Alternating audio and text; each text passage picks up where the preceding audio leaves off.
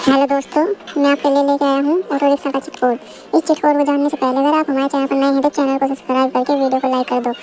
Auto rickshaw का chit comment section में दे दिया है जाके देख लो।